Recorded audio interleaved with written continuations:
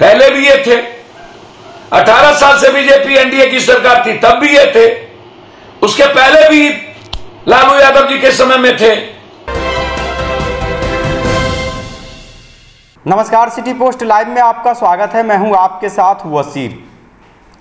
बिहार की आईएएस हरजीत कौर, जो इन दिनों काफ़ी सुर्खियों में है, एक कार्यक्रम में एक लड़की से ऐसा बात वो कर देती हैं जिससे काफ़ी विवाद छिड़ जाता है। अब इस पर जाप सुप्रीमो पप्पू यादव ने बड़ा बयान दिया है और मुख्यमंत्री नीतीश कुमार से ये मांग कर दी है कि हरजीत कौर को तत्काल सस्पेंड किया जाए या तो हटाया जाए। सुनिए क्या कुछ कह रहे हैं जाप सुप्रीमो पप्पू यादव। ताकि कभी कोई अनरेस्पेक्ट बेटियों को लेके, माँ को लेके, बहनों को लेके, पत्नी को लेके नहीं हो, मैं बार बार कह रहा हूँ कि हमेशा जिस तरीके से इस देश में स्थिति है और लगातार गरीब कमज़ोर तबके के बेटियों पर बलात्कार की संख्या बढ़ी है, छेड़खानी बढ़ी है, इसमें सबसे बड़ी भूमिका ऊपर से नीचे लगभग 90-92 प्रतिशत लोग ओपन पॉर्न देखना सेक्सुअल जो एडल्ट पिक्चर है, उसको देखना, गाने को देखना, इन सबको बैन करना होगा। और महिलाओं के लिए कोड ऑफ़ कंडक्ट बनाना होगा कि जो महिलाओं का अनरेस्पेक्ट करता हो, नेता हो, पदाधिकारी हो कॉमन लोग हो, उस पर सख्त कार्रवाई हो और सजा मुकर्र हो एसपीडी ट्रायल हो महिलाओं के रेस्पेक्ट के साथ कतई कंप्रोमाइज नहीं करना चाहिए। अविलंब कार्रवाई की जाए, हटाया जाए। ज़रूरत पड़े तो सस्पेंड किया जाए ताकि फिर किसी की हिम्मत महिलाओं के खिलाफ इतनी अभद्रता और गंदे शब्दों में एक बेटियों को डिमोरलाइज करना यह खतरनाक है यह सही नहीं है। बेटी के साथ जनता के बारे में जिस तरीके की बात कही गई वो भी सही नहीं। लेकिन इतने चहते अफसर हैं सरकार के और इस तरह की बात करना ये कहीं ना कहीं क्या पॉलिटिक्स से जुड़ा हुआ कुछ है सर नहीं इसमें राजनीति है व्यक्ति इसको राजनीति से कतई मत जोड़ पहले भी ये थे। 18 साल से बीजेपी एनडीए की सरकार थी तब भी ये थे। उसके पहले भी लालू यादव जी के समय में थे। कलेक्टर रही हैं। मैं हरजीत कौर जी से ऐसी उम्मीद नहीं करता था, लेकिन उनको सलाह देता हूँ। ईमानदारी का मतलब है आचरण, चरित्र, चिंतन में ईमानदार होना।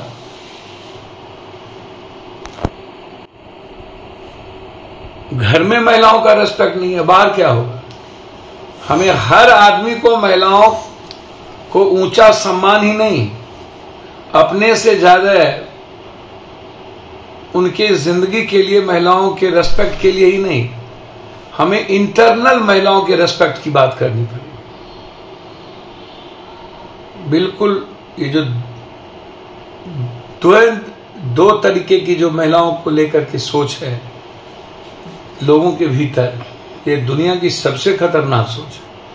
और महिलाओं का रेस्पेक्ट यदि जीवन में चाहते हो ना, ये जो पॉर्न देखना है भलगर पिक्चर है भलगर गाने हैं। मिस कॉल मारल तक किस देव का हो? तारा मसीनिया के पीछ देव ये सब गाने। पीछा आगा ये महिलाओं के रेस्पेक्ट को खोता। है ये सिर्फ़ ये जो बात आप कह रहे हो कि आईएस ने कहा नि, नि, निरोधक भी देना पड़ेगा। ये ज़िंदगी में अब, अब ऐसे मुझको लगता है कि पूरी फ्रीडम और आज़ादी हमेशा ऐसे लोगों को मिलते रहे। दस सालों तक पंद्रह सालों तक सात सालों तक एक ही जगह पर। और वो विभाग भी आज तक नहीं सुधरा।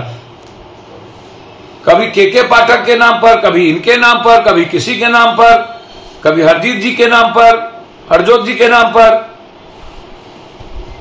भैया और भी लोग हैं ना, अब सरकार इन पर क्या कार्रवाई करेगी? नीतीश कुमार जी का सबसे बड़ा वोट महिला है तो इससे बड़ा खतरनाक कि पाकिस्तान बना दो। वोट आपको बाँध जाने परसोती के हाल आपको क्या पता कि दर्द क्या होता है वोट लेना? आप तो पर के एक बार एसी से निकलते ही नहीं हो। यहाँ तो वोट लेने के बाद भी दुनिया में जो अच्छे पॉलिटिशियन है, उसको ज़मीन पे ही रहना है। समाजवाद को कभी मानने वाले, कम्युनिस्ट को मानने वाले, हम दक्षिण पंथ और अंत पंथ की बात नहीं करेंगे। लेकिन जिस तरीके की बात कही है, ये कंप्लीट रूप से डिसिप्लिन का मामला है। इस पर एक्शन लेने चाहिए गवर्नमेंट को।